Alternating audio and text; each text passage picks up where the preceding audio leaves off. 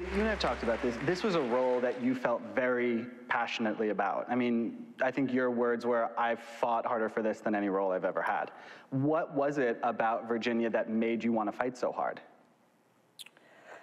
Um, I, I mean, it was a combination of a lot of things. I, I think uh, on one level, it was proving to myself that I could do more than one thing, uh, which I was not convinced of, honestly. I, I think as a, a, for me as an actress, I was leaning towards more comedic roles because I thought that's all I was ever going to get. And I, I love doing comedy. I'll never stop doing that.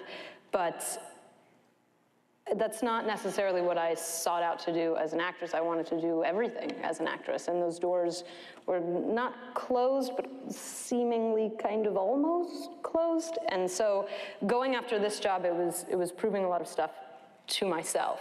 And John Madden, who directed our pilot, who really championed me, and, and as well as these two lovely ladies. Um, I, think they, all three of you guys saw me in this role well before I saw myself in the role. And my audition with, with John Madden was three hours long and full hair and makeup, and we basically read the entire script. And I remember walking away from that audition thinking, that is the best audition I have ever had, and I am never getting that part.